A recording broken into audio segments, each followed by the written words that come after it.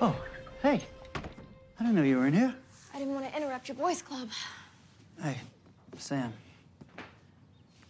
About yesterday. No, Dad, it's fine. You and Mom were right. It's time we leave the past behind us, right? Yeah. I'm proud of you, Sam. It's never easy being the bigger person.